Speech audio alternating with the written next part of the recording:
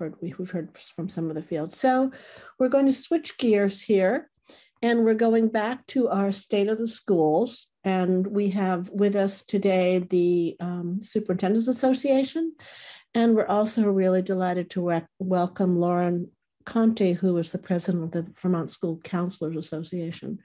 The questions that we've been asking are um, we're looking at state of our schools, how are the students, how's the staff, how is our how's our community doing, and what is it that you would like from the legislature this year, and what would you like us to not do this year? We're always here to help, as you know.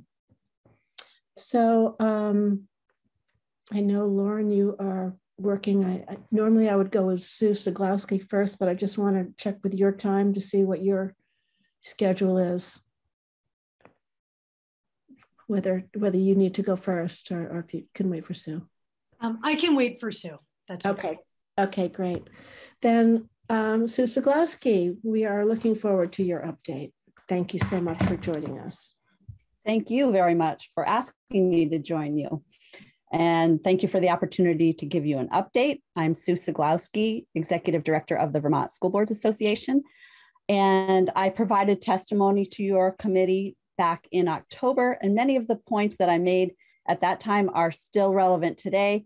And I would say, in fact, they're even more relevant today due to the um, Omicron variant and the stress that it's putting on the system. So, um, I'll start out with sort of an update to the information that I provided to you in October.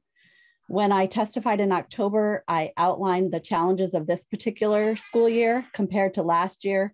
And um, those are, are set out in my written testimony from October. I won't repeat them.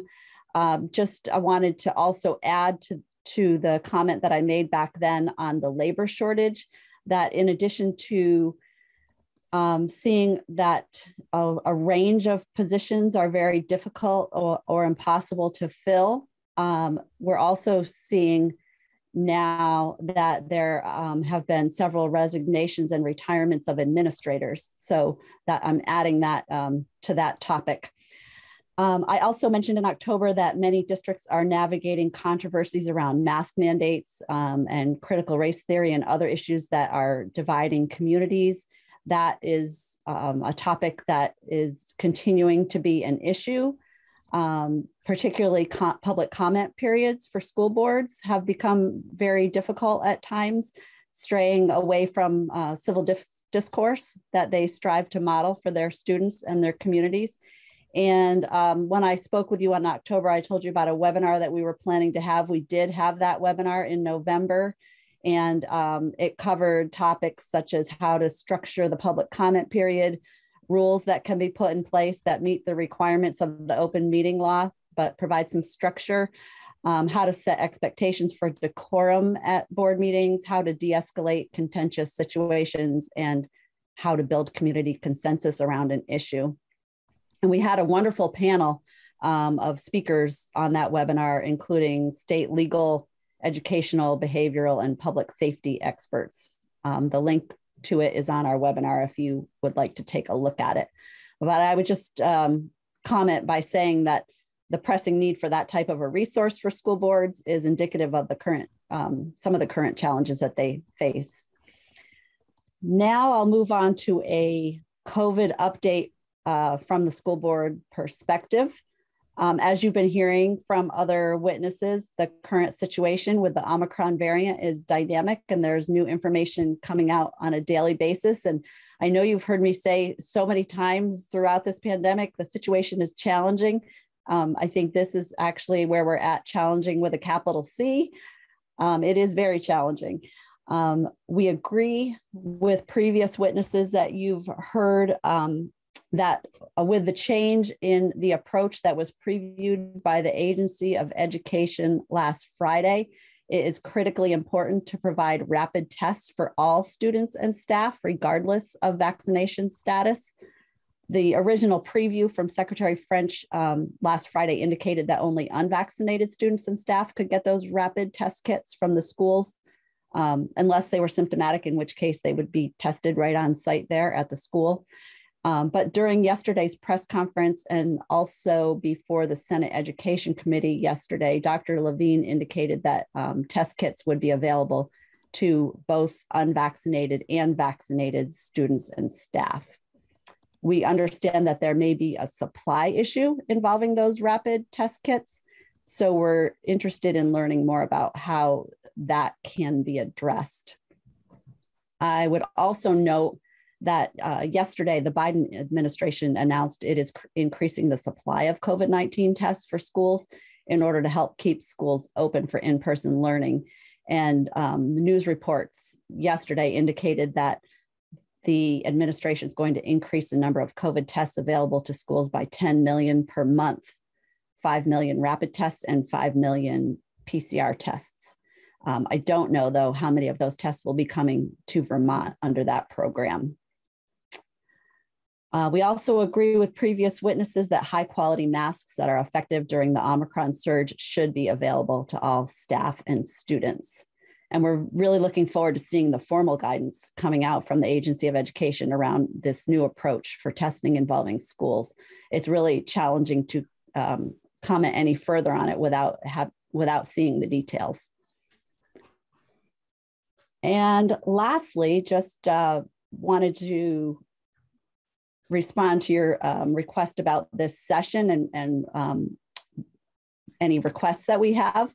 Um, just reiterating what I said in October, we're asking the General Assembly not to tackle new education policy initiatives in this session that's, that are going to add burdens or complexity for school districts.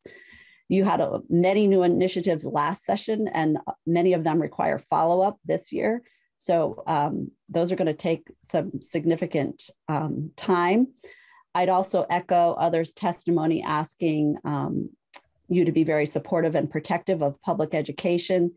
Um, and lastly, I'd just like to express appreciation to the General Assembly for taking quick action to address the annual meeting issues that you did in S172 and um, to put in place temporary open meeting law changes um, in S222.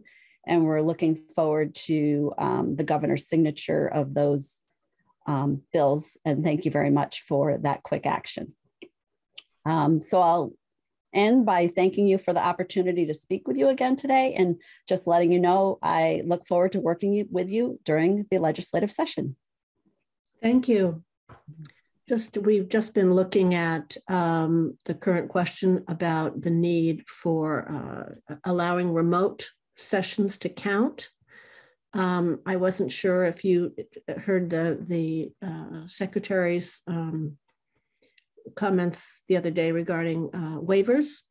We were looking at potentially doing something in session law and wondering if how you felt it worked out this year, or if you could get back to us if you're not prepared to, to tell us. How did it go for 2021 school year uh, with the remote, uh, with the, the waivers from the secretary for to allow remote sessions to count? I wasn't able to listen to um, your committee meeting earlier today because I was had other meetings. So um, I definitely would uh, like the chance to come back and, and talk with you about that sometime soon. Please do. Thank you. Uh, we may have some time today. We have some things that have canceled. Um, any questions? Okay, thank you so much, Sue Ceglowski. Um, I'm delighted to welcome uh, Lauren Conti, who is here representing the um, school counselors. We do have one of our members as a school counselor. You can wave our retired school counselor there, uh, Representative Austin. And we are very anxious to hear from you. Where again, how are the students? How is the how is the staff? How are the communities? I know that we have some questions about mental health. That certainly seems to be an issue, an area that you have considerable expertise. And um, we are looking at what we in the legislature can do to help. And again, but what you really don't want us to do as well. so welcome and thank you. Great. Well, thank you so much for the invitation to come join you today. Um, My name is Lauren Conti, and I'm on the Vermont School Counselors Association Executive Board, and I'm currently serving in the role as president. I am new to that position. I have been a Vermont school counselor for the past nine years, and I'm actively a school counselor right now um, in my building. I can't guarantee I won't be interrupted in the middle of this. Um, and just thank you for allowing me to speak on behalf of Vermont school counselors. I do have a prepared statement that I um, am primarily going to be be reading from, and I look forward to to your questions at the end. Um, if you can't hear me, please let me know that as well. Um, you know, I really feel like we're all reading the same newspaper articles, we're watching the same news reports, and we are talking to one another within our communities. I think the challenges are clear. Um, and many of the points I'm going to be sharing today with all of you are not, not new. One thing that I do want to share with you is that in the fall of 2021, the Vermont School Counselor Association, I'll just call it VSCA, that's our short acronym, um, launched a membership survey to get a global picture of how Vermont school counselors are doing as we entered another pandemic centered school year. Um, feedback from that survey um, identified following concerns, patterns, and themes. School counselors are seeing um, an intensifying, intensified impact of poverty, inequity, and family disengagement on students. School counselors are being assigned inappropriate roles and responsibilities. Um, some of those examples are 504 coordination, case management, lunch and recess duty, and testing coordination, and those things take us away from direct student services around social emotional support and well-being. School counselors, like all educators, are experiencing increased stress, burnout, and a sense of being undervalued and overworked. Um, we are seeing as an organization a potential staffing crisis as school counselors are considering leaving the profession entirely. Um, we have concerns about the safety and well being of our entire school community, both students and adults, particularly related to recent decisions about how schools are going to be moving forward. Um, as a profession, school counselors um, have noted the importance of their ability to form strong relationships with students, families, and colleagues, and especially those in the most need. Um, Vermont school counselors have the ability to make a significant impact on a student's life, both in their social and emotional well being and post secondary pathway planning. Um, the social and emotional well being of our communities, inclusive of students and adults, must be a top priority, um, not just of the school counselor, but of the whole school. Our students are struggling um, with increased levels of depression, anxiety, and emotional dysregulation. I looked at YRBS data, the Youth Risk Behavior Survey that is taken at middle schools and high schools across Vermont. Um, you know, there's a lot of great data there. I just pulled two data points.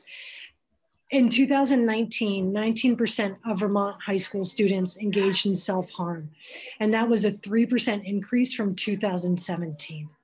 Um, 7% of Vermont high school students attempted suicide in 2019, which was a 2% increase from 2017. Students have taken the survey in the fall of 2021. We have not yet um, had, you've seen the data, there is a processing time. I think it'll be interesting to see the trend in that data related to um, self-harm, suicidal ideation, and also mental health. School counselors are seeing an increase in behavior challenges that are impacting the students' ability to learn. And not a surprise, we're seeing, continuing to see an increase in truancy and lack of student engagement. So I've highlighted some of the trends and challenges that we're seeing in schools. Um, you know, to get to the heart of the matter, and I appreciate you asked the question, what can you do to help? One thing is clear, the role and responsibilities of a school counselor varies from district to district, um, even sometimes within a district. For the past year and a half, VSCA has been working in partnership with the Agency of Education to adopt the Vermont School Counselor Comprehensive Framework.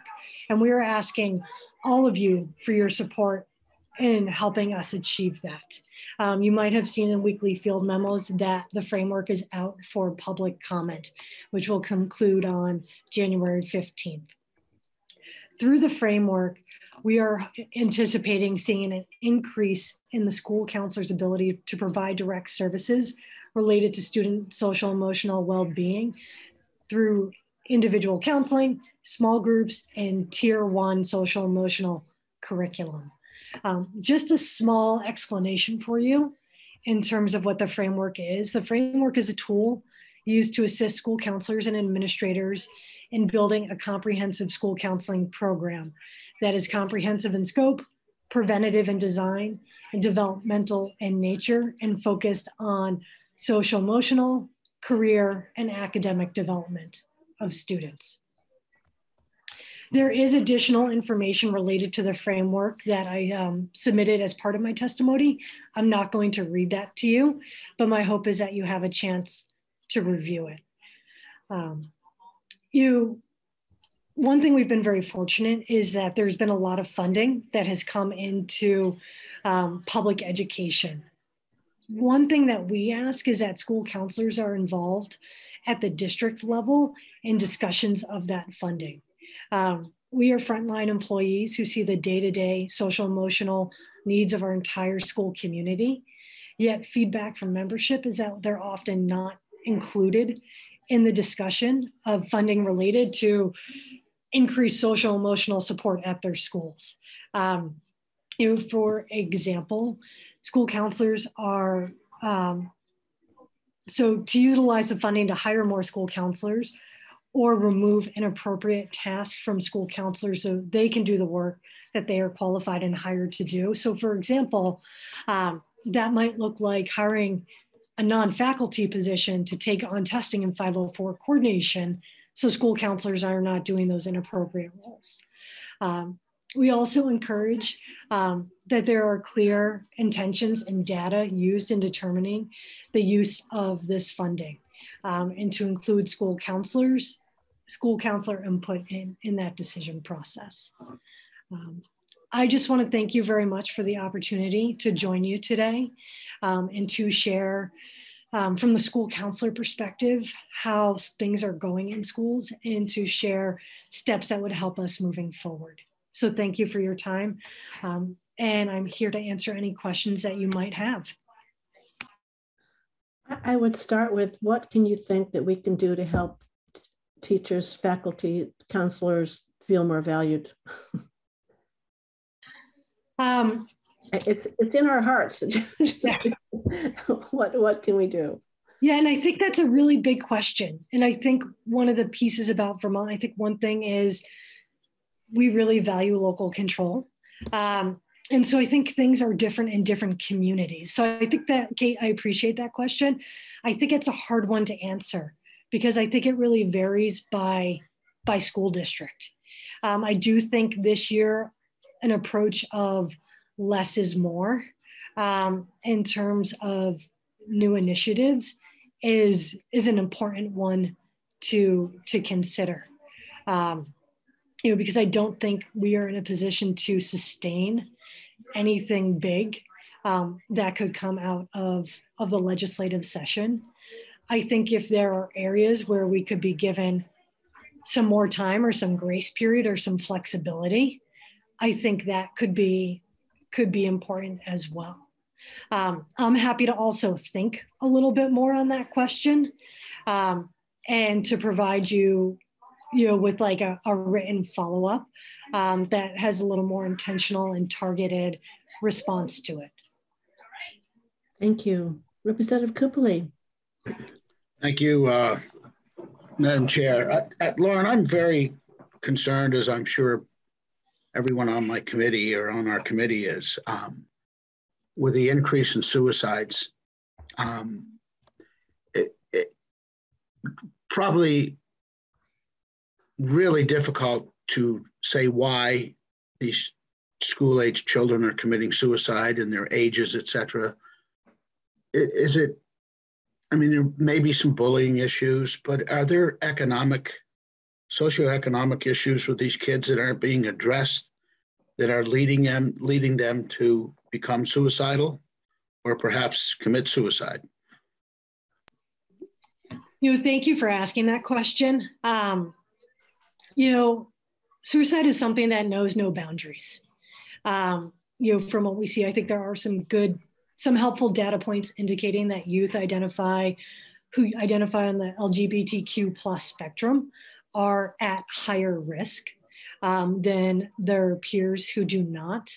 Um, I have not reviewed data related to the socioeconomic components of suicide prevention. I think one thing we're fortunate about is we have some strong partnerships in Vermont um, through the suicide prevention um, programming I'm forgetting the exact name of the association, but I know I have worked with them. They provide great training for educators, and I can speak personally because I have attended a multi day training that has helped me outline in my school comprehensive programming.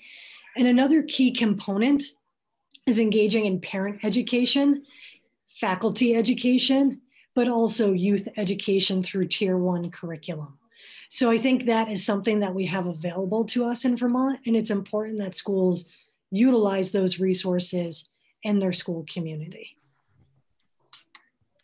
Yeah, a uh, quick follow up. Are you seeing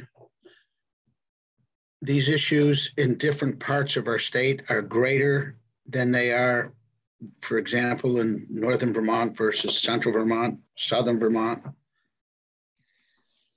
I have not talked to a colleague who or or a member of the association, um, regardless of their region, that has um, not struggled with this. It's it's all over Vermont. Um, it's not region specific. Good. Thank you very much, Lauren. It's great to have you with us today. Thank you. I have one other question here, and that has to do with um, universal meals and breakfast um, which was introduced, I mean, which was made available by the federal government um, this year, and just wanted to see how that how that's going in your school. Um, we certainly have a request to continue that at a state level, uh, which I assume we'll be taking up later. But I'm just interested in how how kids are doing and how that program seems to be working, and if you've seen any change in the quality of food. Um, I would say that program has had a positive impact. Um, you for a couple different reasons. Families who, um, when it was more of the free and reduced lunch structure, would have to go through some paperwork. For some families, that was a barrier that no longer exists.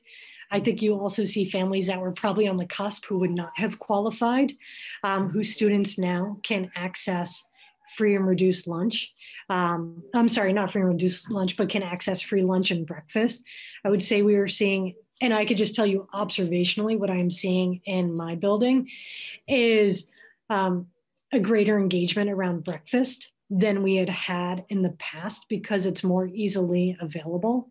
Um, and also through some of that, the access to snacks as well um, has been important. You, we have seen students who might have some food insecurities at home have greater access to food here at school because they were not necessarily pre identified um, as struggling with access. So I would say it's been a positive program, and the continuation of it would have positive impact in school communities. Thank you. Other questions from the committee? We very much appreciate you taking the time. Your voice is a really important voice. Um, I, I, want you to know that, I think I'm speaking for the committee now, that we very much appreciate um, you coming in and for the work that you are all doing in the schools in this incredibly difficult time. Our, our kids are important, and so are all of you.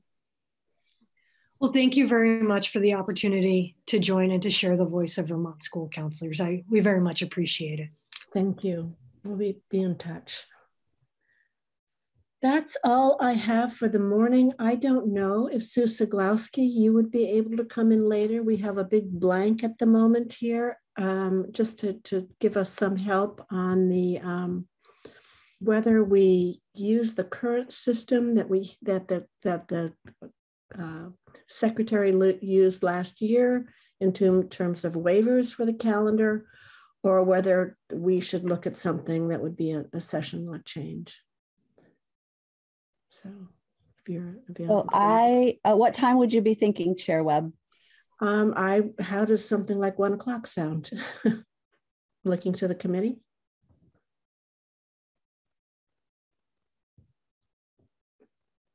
Would that work for the committee if, if it worked for Sue? I'm seeing, I'm seeing some Yeah. nodding heads. We have some committee members that are missing, but Yeah. one o'clock, we, we do have the time. And I think it would be worthwhile hearing Sue's comments. Yeah, I think so as well. If, if that's something you could do, happy to talk with you offline if that would help on what, what we're looking at. Yes, that would be great if I could speak with you. Thanks. Okay. Thank you. Thank you so much, everybody. We will go offline. Again, thank you so much